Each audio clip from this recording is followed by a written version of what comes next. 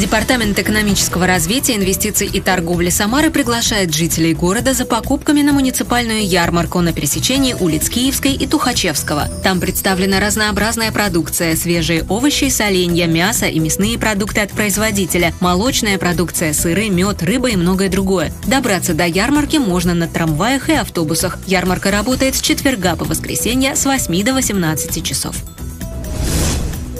В Самарском районе специалисты МФЦ встретились с жителями. Регистрация, подтверждение, восстановление учетной записи на портале госуслуги, информирование о ресурсах и возможностях портала, перечень услуг, которые могут получить жители в рамках выездных приемов граждан специалистами многофункционального центра. Посетить выездной пункт можно без предварительной записи. При себе необходимо иметь СНИЛС и паспорт, сообщает телеграм-канал Самарского района.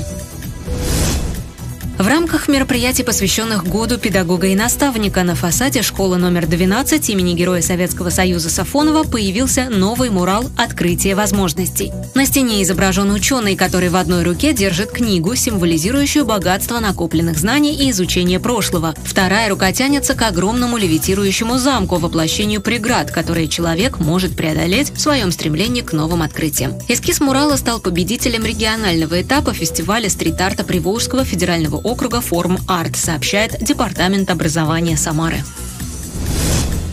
26 июля отмечается День парашютиста. Сегодня в России парашютные прыжки с самолетов, аэростатов и других летательных аппаратов исчисляются десятками тысяч, а парашюты применяются в авиации, армии, спорте и других сферах жизнедеятельности человека. Проводится немало соревнований по парашютному спорту, а сегодняшняя дата ознаменовывается спартакиадой Вооруженных сил России. Аэродром Кряж традиционно принимает гостей и участников спартакиады, напоминает телеграм-канал администрации Куйбышевского района.